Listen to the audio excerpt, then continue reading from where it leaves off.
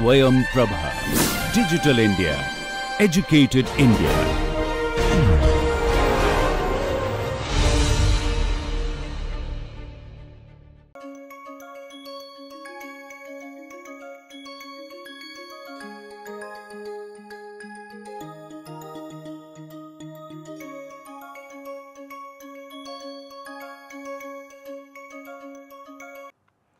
Hello and welcome to the course on dealing with materials data. Today we are going to cover the session on what is called probability plots. I believe you all of uh, have experienced it or have played with it and experimented with it uh, during the R sessions with Professor Guru Rajan on uh, descriptive statistics. But now the time has come to formally introduce it to you as to what these plots are and what different kinds of plots are available. So, first let us review what we have done in the past. We introduced random variable as a real valued function with a probability space as its domain. Then we introduce expectation of this random variable and we also introduce certain special random variables which have uh, specific models of distribution. So, we introduce two kinds one is a discrete distribution functions uh, in which we covered uh, Bernoulli trials, binomial distribution, geometric distribution, negative binomial distribution and hypergeometric distribution. While in the continuous distribution function we introduced uniform distribution function, uh, then uh, normal distribution function, then some derivatives of normal distribution such as chi square, t distribution and f distribution. We also introduced uh, other distributions such as uh, uh, log normal distribution, Weibull distribution, exponential distribution I must mention that there are plethora many many many distributions available and many many new distributions are discovered in order to meet today's data requirement. But we have shown you a few of them which you come across more frequently and uh, which will be useful to you in your immediate engineering requirement, immediate materials data requirement. Of course, as and when we move forward the new distributions that we may require in the further analysis will be introduced in details there. Now in all this uh, issue the question comes that uh, we say that a random sample has been drawn from a distribution or specific distribution. How do we know that it really comes from that distribution? The reality picture is something like this. You have a very large population which you are trying to study.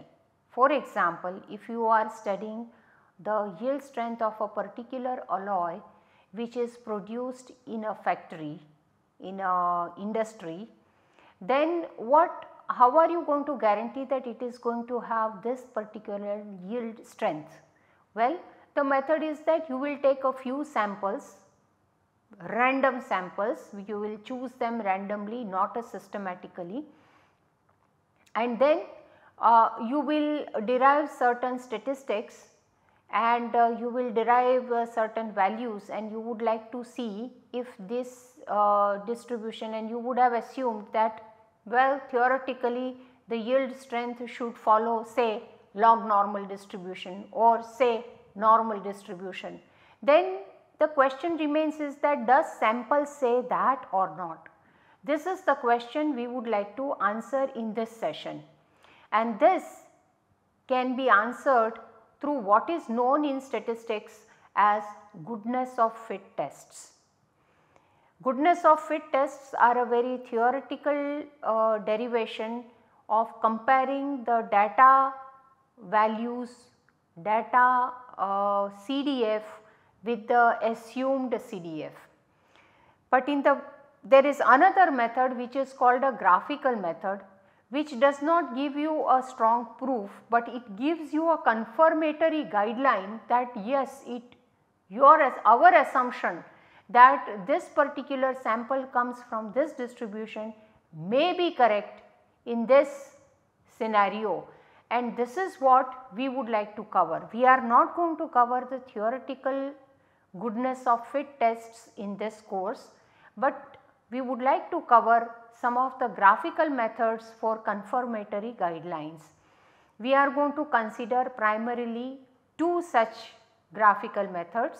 One is called probability plots or PP plots and the other is called a quantile plot which is known as QQ plots. Now how do we go about doing this graphical comparison? We assume that data is coming is a sample from a particular distribution. Your data what you have got is a sample values coming from a particular assumed distribution. Hence naturally it means that whatever cumulative distribution function that you will obtain from data should match with the assumed distribution cumulative distribution function.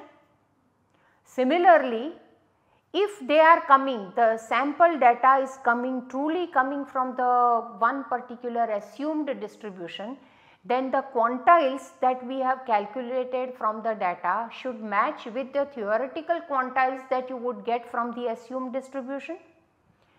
Such matching can be worked out in two ways. If you are plotting the data CDF versus distribution CDF and if both are equal they should fall on a straight line. So, this is case 1. The other one is if data quantiles if you plot against the assumed distribution theoretical quantiles then they should also match and they should fall on the straight line x is equal to y this is case 2. So, here I have detailed described PP plot CDF is calculated from the data and it is called an empirical CDF. Then another CDF is calculated from the assumed distribution and it is called a theoretical CDF. PP plot refers to plotting the empirical CDF on y axis and theoretical CDF on the x axis. If our assumption is true that the data is truly coming from the assumed distribution, then the points on this plot should fall approximately on y is equal to x line. Otherwise, we should be able to clearly see a mismatch. So, let us see the two plots. Now, in this plot what I have done is I have taken I have simulated standard normal variates uh, using random number generator. I have simulated about 100 of them and then I have calculated from that data the uh, cumulative distribution function. Let us do some recalling here. Cumulative distribution function of data is nothing but number of data or let us call it a f of x less than or equal to t is nothing but number of data points less than or equal to t divided by n which is total data points. Okay. So, this is called the empirical empirical CDF. Okay. So, you calculate the empirical CDF and then from a standard normal distribution you have a CDF which you can call f of t again then it is nothing but integral minus infinity to t 1 over square root 2 pi exponential minus 1 half x square dx. So, this is called theoretical CDF. So, the values of this theoretical CDF on T is given here. This is the x axis which gives the theoretical CDF. This empirical CDF is plotted on the y axis and that is plotted in that is shown in here. So, if you take any typical value here, this says that theoretical CDF which is in here, this is your theoretical CDF value and this is your empirical CDF value. So, this is how all these points are plotted. And now what we say is that if your assumed distribution is the correct distribution for the data that is your data truly comes from the standard normal distribution which in this case we know because we have generated it randomly. You can see that it should fall on the line this is y is equal to x line. So, it should fall approximately on y is equal to x line and you can see that these points are falling and therefore it says that okay it confirms graphically that the data points seem to be coming from the standard normal distribution. Let us take the case of mismatch because sometimes we understand only when we see the matching but more we understand if we see the mismatch. Now here we go. Here I have generated a log normal data by random number generator. So, I have a log normal data generated,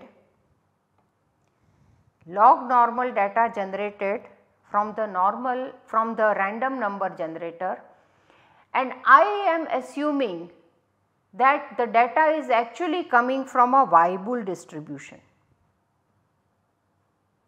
I have generated the data. So, it means that I have a data from a population which actually has a distribution log normal while I have thought that I have actually drawn a sample from a Weibull distribution. I have very purposefully taken these two distributions together is because in the field of metallurgical uh, parameters or properties such as uh, strength property you take yield strength, you can take UTS, we can consider even the fracture toughness.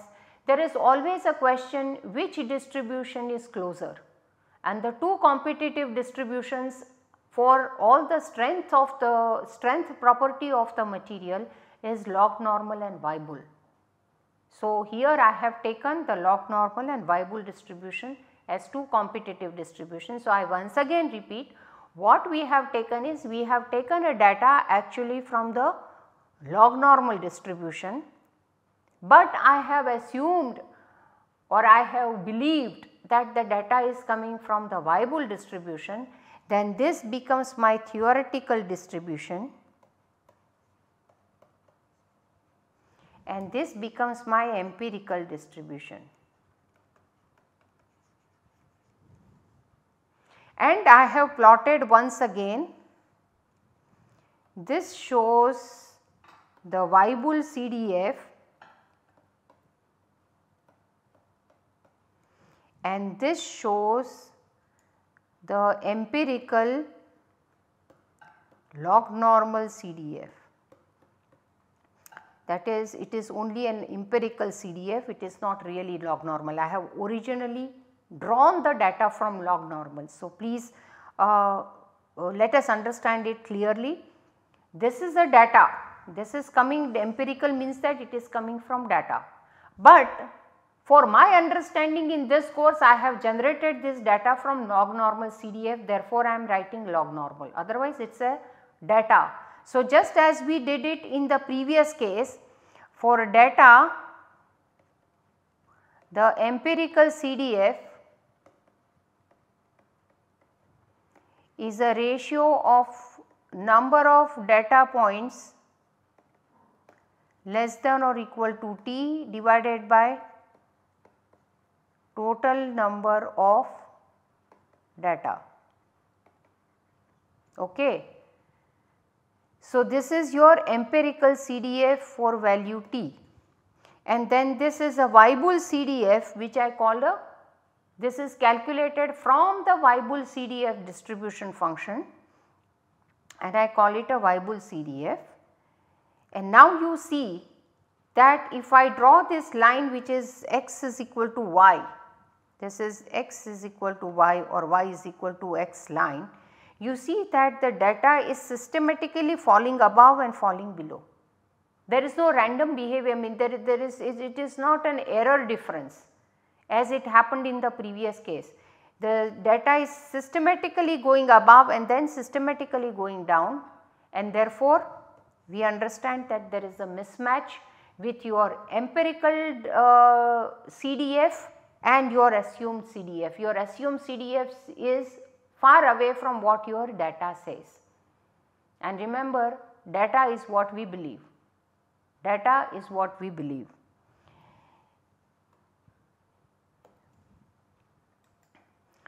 Now let us uh, understand the QQ plot.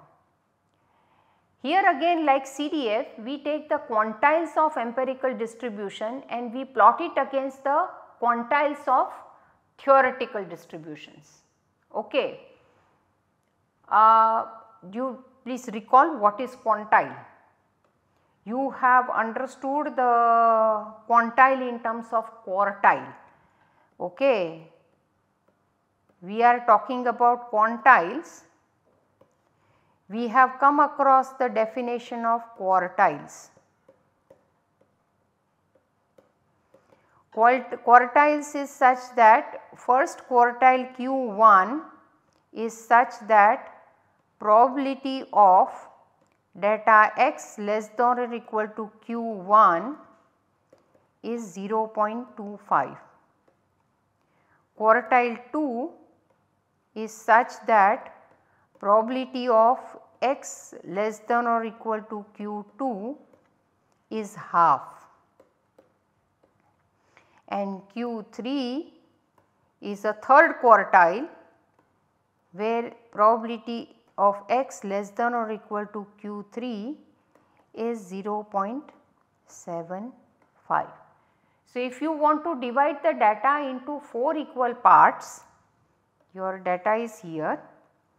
If you want to divide the data into 4 equal parts such that the probability from negative infinity to q1 Q1 to Q2, Q2 to Q3 and Q3 onwards are all equal. These are all equal probability and they are all one fourth. This is what is called quartile and if you recall this is also known as median. Quantile is a general term. So, if you wish to have this probabilities your uh, data be divided into say 5 equal parts, then you will have if you want to divide it into 5 equal parts, then you will have each of this there are 6 parts here right. There is 1, 2, 3, 4, 5 and 6. So, each one will have a probability 1 sixth. So, you will have a 5 values which I call P1, P2, P3, P4 and P5 then my this will be called pentile. So, if I take a first pentile P1 is such that probability that x is less than or equal to P1 is 1 over 6 and like, likewise P2 is such that probability of x less than or equal to P2 is 1 third or 2 over 6 likewise you can define. So, quantile is a general term. If you want to consider the case of dividing the data into 4 equal probabilities you will have quartiles. If you want to sorry these are not pentiles these are hexiles. If you want to divide it into 6 equal part it will have uh, 5 points uh, P1, P2, P3, P4, P5 which will divide each data into 1 sixth. They are called hexiles. You can have deciles, you can have centeniles etc. etc. I mean you have 90 percent data here and there you mean there are various ways of doing it. So, in this way you can define a quantiles. In the example which I am going to show that there is a matching and there is a mismatch, I am going to consider deciles. I am going to consider deciles. It means that the data will be divided into 10 equal probability parts where each part will have a probability of 0.1, 0.1, 1 over 10. And when I define like this you remember it is a cumulative probability that I am defining. So, I am defining all the values here below this and therefore, it becomes 2 times 1 over 6. Okay. So, let us uh, see the plots now. So, if you look at the plot again I have taken the same uh, standard normal uh, variates generate data generated by using random number generator and I have calculated their deciles. So, there are one sorry there are 1, 2, 3, 4, 5, 6, 7, 8 and 9 points. Remember if it is a decile you are bringing it into 10 parts there will be 9 quantiles, 9 deciles.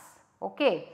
And these 9 deciles I have plotted. If you take any typical one, uh, oh, okay. If you take any typical one, this shows the data decile.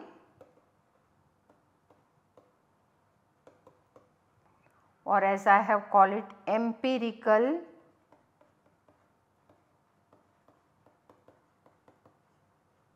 quantiles. And this is theoretical quantile calculated from normal 0 1 and I have plotted each value. And you can see that there is a deviation. I have made the points very big but otherwise you can look at the center of these points. And you know that they are little above on the line or little below etc because I am actually taking a random uh, number generated uh, standard normal uh, random generator using uh, using random generator to uh, generate the standard normal distribution. Now if you look at the mismatch again I have done the same thing. I have taken the log normal distribution to generate random variables of log normal. In other words I have used a random number generator and generated log normal uh, random variables and I calculated quantiles and I am thinking that they have all come from Weibull distribution and I am comparing them. So, I am doing a little bit of an artificial thing, but this is to drive the point home I am following this uh, random number generated values here. So, this is once again empirical deciles and these are Weibull deciles, these are also deciles. There are exactly 10 if you look at it there are 10 uh, 9 data points 3 and 3 is 6 and this 3 9. And you can see that very systematically it diverts away from the line which is x is equal to y. And therefore, it says that what you have assumed your data coming from is not the case. Your data is coming from some other distribution than the assumed distribution of Weibull. Once again I repeat that here we are comparing the empirical deciles with the Weibull deciles. This is calculated from data.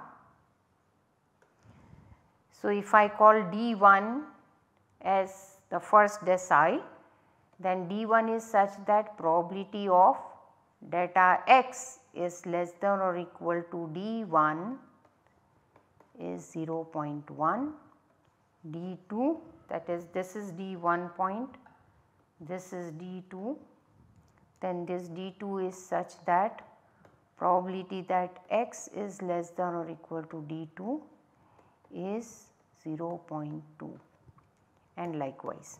Hmm. So, this is D1, this is D2 like this I have calculated. The interesting part here is that in the previous case we were matching probability with probability, here we are matching the data value with the data value. So, this is something uh, strikingly different in this case. There are other plots, same plots are made in a different way. For example, instead of considering your x axis,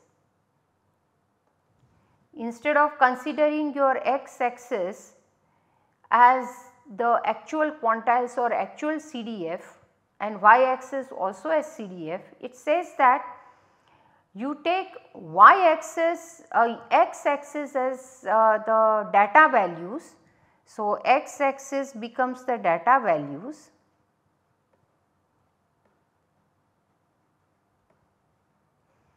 and y axis is taken as a theoretical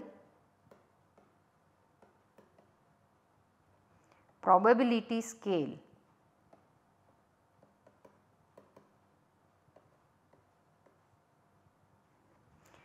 There are when there were the computers were not so common when we studied statistics, there used to be normal probability scale paper available in the market and Weibull probability scale paper available in market.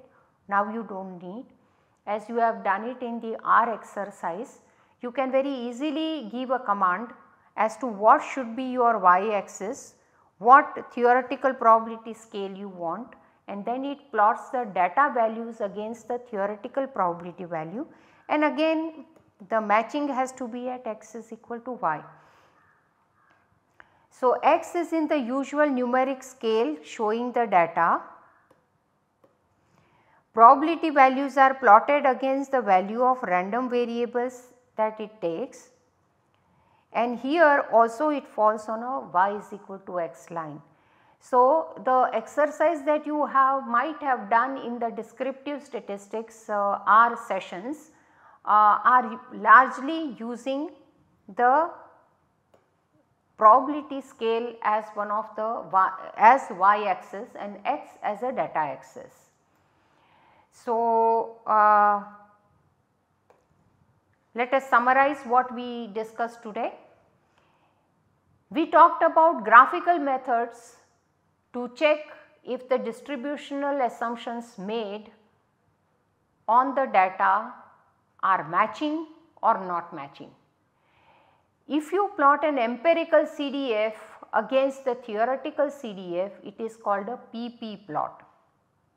If you plot a data quantiles against the theoretical quantiles, then it is called a QQ plot.